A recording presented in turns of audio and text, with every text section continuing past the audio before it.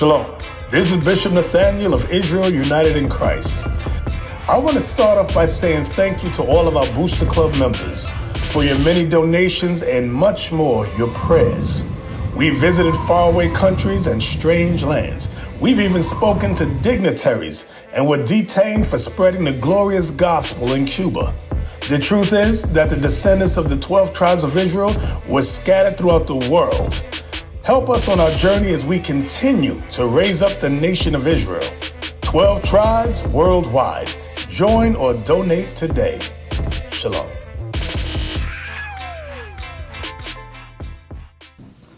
Hey, Shalom. Mosiah and Christ bless. You are watching 15 Minutes with the Captain and Captain Gideon, and to my right. Onto your honey.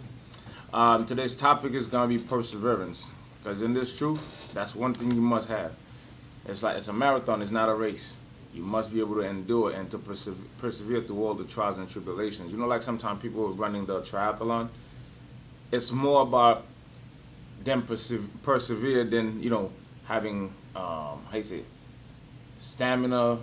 You need, you need stamina, you know what I'm saying, to keep going because it's grueling and it's very, um, how can I say, it's a very rough race. Stressful. It's not gonna be an, a walk in the park. This truth is not easy, although it is easy. Like the scripture says, easy to wake up the people of Israel. But however, our walk here, we're gonna have to go through a lot. All right. So let's start with Matthew 24, 13, so we can see what the Bible has to say about this truth. Matthew 24, 13. The book of Matthew, chapter 24, verse 13. But he that shall endure unto the end, the same shall be saved. He that shall endure until the end, the same shall be saved. Now, why would you need to endure? If I'm telling you you got to endure, that means what? It's going to be a long, prolonged, gruesome race. Other than that, it would have said, oh, okay, just keep the laws and you're good. Yeah, you're keeping the laws, but how long can you keep the laws for? You follow? So you got to continue enduring day by day, day by day. As your trials come, you overcome them and you keep going. But many people won't endure till the end. Why? Because their trial will come, and once their trial comes, what happened? The fire get extinguished from them.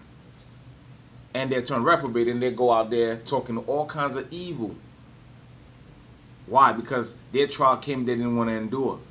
So now they're talking about uh, 12 year old marriage, uh, lamb on Passover, multiple, I mean, not eating lamb on Passover, multiple wives, uh, weed smoking.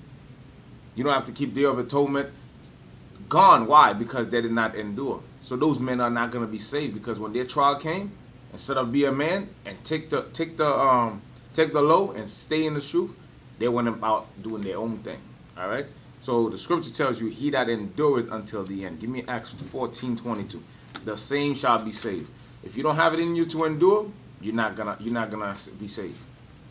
The book of Acts, chapter 14, verse 22.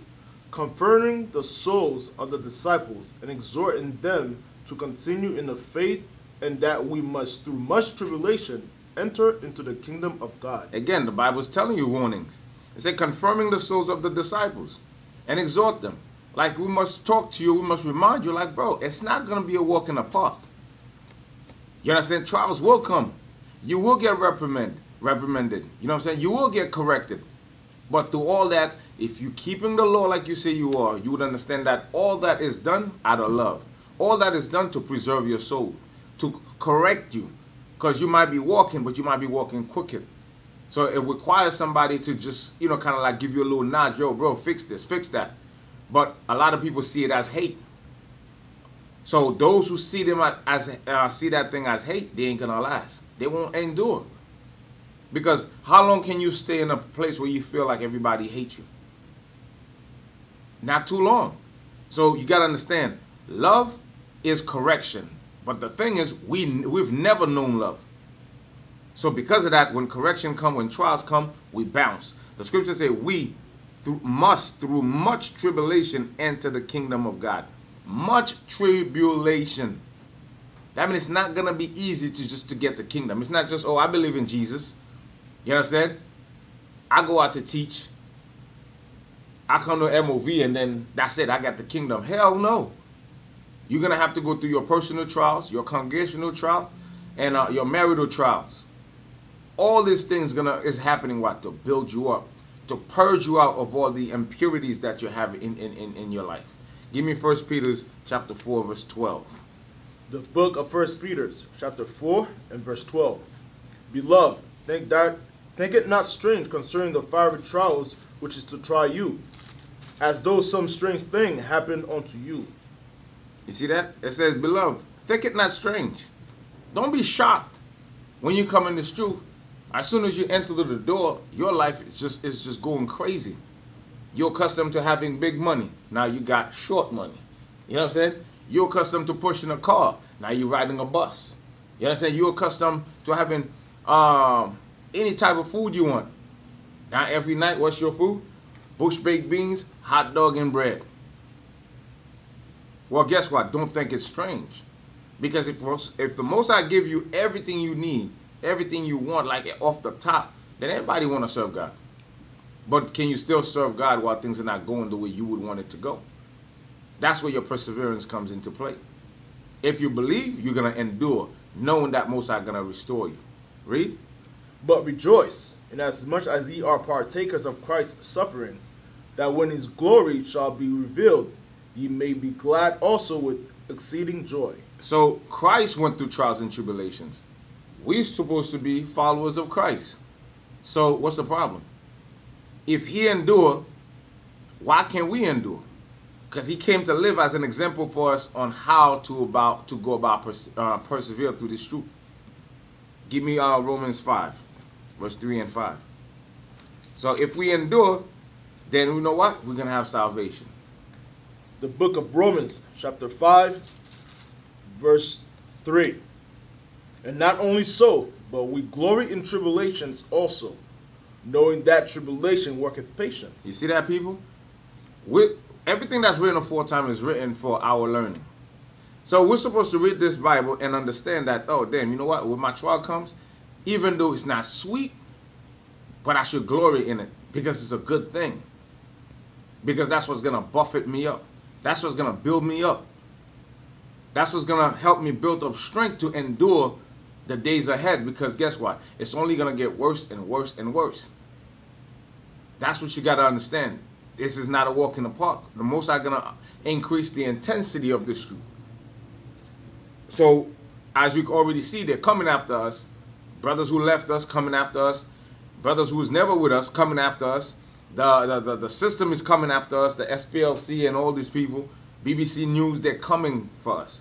So which means if we can't endure the small little trials that we're going through in a body, how you going to endure the heavier trials? If you can't overcome a little bickering, a little uh, argument you had with a brother or sister, how you going to endure till the end of time?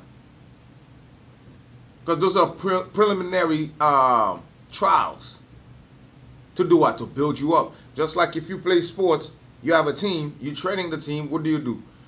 Pass a certain amount of time of training, you, you find pickup games for them. Pickup games against what? You know, okay teams to see where your, where your team is at. And if you see that they're doing better, guess what? You find bigger, more, more, more uh, harder games for them. And when you see that they're doing good, then you put them in the tournament. And guess what? Only the best wins the championship. So we all got to go through this fire. But we must glory in tribulations. Read. And patience, experience. And experience, hope. So if you glory in your tribulation, why? Because you know it's going to teach you patience. And patience give you hope. Read. And hope make it not ashamed. And hope make it not ashamed. If you hope in God, you're never going to be ashamed. Read because the love of God is shed abroad in our hearts by the Holy Ghost, which is given unto us. Give me Hebrew 12, verse 6 and 8. So we must endure, we must glory in tribulation. Like it says Lamentation, why does a, why doth a living man complain for the punishment of his sins? When you look at your, your, your trials, if your mind is on the bigger picture, you're going to overcome your trials. Because you're going to realize those are things that's set up to try to pull you down if you don't know how to deal with them. Read that. The book of Hebrews, chapter 12 and verse 6. For whom the Lord loveth, he chasteneth, and scourgeth every son whom be receive, whom he receiveth. You see that? If God loves you, He's gonna scourge you. He's gonna whip you. And that's every single one of us, which means today's my day, tomorrow is his day, the day after might be your day. At the end of the day, we all have our days. You understand? The trial is gonna happen regardless who you are in this truth. Correction is gonna happen regardless who you are in this truth. Are you gonna be men enough to deal with the correction? Or are you gonna run to your mama? Are you gonna run outside the truth and start making videos and bad bad mouthing the people that actually taught you? Now you're an elder. So with all that great understanding you have as an elder, you didn't understand that you wasn't supposed to leave the body? I can't make this thing up, man. Verse 7. I mean. Seven. If ye endure chastening, God dealeth with you as with sons. So if you endure, if you endure, that's the word, if. If you endure, then God will deal with you as a son. Read. For what son is he whom the Father chasteneth not? So the Father will chasteneth every son. And if you endure, then he deal with you as a son. Just like kids, certain parents will whip them, and then the kids run away from home. And what happened to them? They get kidnapped, they get sold into sex trafficking. Their life become a living hell. Why? They didn't like the correction. So now they're getting a worse correction. It's the same thing. Corrections you get here, be happy that you got it. Be happy that there's somebody that care enough to correct you. But when the devil's in your mind, instead of seeing that that's a person that love you that's correcting you, oh that nigga hate me, or that sister hate me.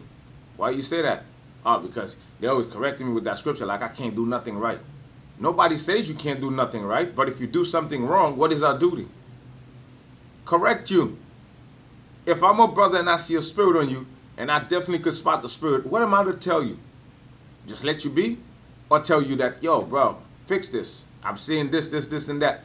That's love. That's somebody that I care for you. So if you can go through these things and endure them, and sometimes you got to get rebuked. And if you can take all those blows, plus whatever your trial, your personal trials are, your marital trials, you know what I'm saying? Guess what? If you endure, then God is going to deal with you as a son. Verse 8. But if ye be without chastisement, wherefore all are partakers, then are ye bastards. Then are you what? Then are ye bastards. Then are ye bastards. If you do not endure chastening, then you are a bastard. So that's what it says we're glory in tribulation because when your trial come, you'll be like, okay, the Lord is dealing with me as a son. But if your mind ain't right, you ain't gonna see it that way. You're gonna say, as, oh, they just hate me. They just hate me. But really and truly, nobody hates you. You hate yourself. Read But verse 8. if ye be without chastisement, Mhm. wherefore all are partakers, then are ye bastards and not sons. Then are ye bastards and not sons. You don't want to be a bastard. So pray for your trials, pray for your uh, tribulation to come so that we can glory, knowing that the Most High is dealing with you as with, with a son. All right? Give me Sirach 2. Um, Sirach 2, chapter 1. I mean, chapter 2, verse 1. the book of Sirach, chapter 2 and verse 1. My son, if thou come to serve the Lord, prepare thy soul for temptation. My son, if you come to serve the Lord, prepare your soul for temptation. The scripture give you clear warning. Get ready. So why is it that when it happened now, all of a sudden you count it strange? That means what? You're not really studying your Bible. Or if you are reading, you're not taking these words to heart. You might think it's never going to happen to me. But the Bible already warned you. Get ready. Read. Set thine heart aright, and constantly endure, Here's that word again. and make not haste in time of trouble. endure and don't make haste to depart from the truth. That's where a lot of people fall off. When correction come, instead of enduring and not make haste to go back into the world, they, they don't endure and they make haste to go back to the world. And you see them on YouTube decaying right before your eyes. But guess what? These things must happen to put fear in our heart who's left behind to get it right. Read. Cleave unto him, hmm and depart not away, that thou mayest be increased at thy last end. So cleave unto the Most High God. Because if you don't cleave unto Him, guess what? You done. So endure your trials. All right? Read. Verse 4 Whatsoever is brought upon thee, take cheerfully, and be patient when thou art changed to a low estate. Now, if thou art changed, When thou art changed to a low you estate. might be changed. When thou art changed. Be great. Be be cheerful when thou art changed to a lower state. We all got to go through it. But if you understand perseverance, guess what? You're gonna endure through it. Cause you got to be tested in all points. Read. For gold is tried in the fire, Uh huh. and acceptable men in the furnace of adversity. You see that? So gold is tried in fire, and men, which represent the gold, we are put in the furnace of adversity. Adversity represents the fire. What is the purpose? To remove the impurities that we have in us. It's to expose us to us. Because many of us think we know ourselves, but we don't know ourselves until we go through trials and tribulation. Then you see what you're made of. No man knows himself until he has been tested. You know, you don't know if you're not a thief until you don't have no food, no money to feed your family.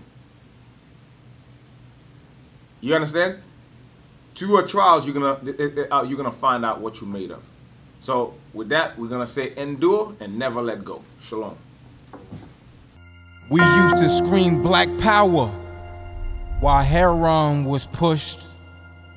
But at the end of the day, nothing's in vain. IUIC has been given a vision.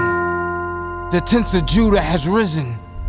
Many has attempted the mission, minor murmuring, omitting, and missing the mark. Just reading that he had the flame of fire in his eyes gave us the spark. We on Paul's mission.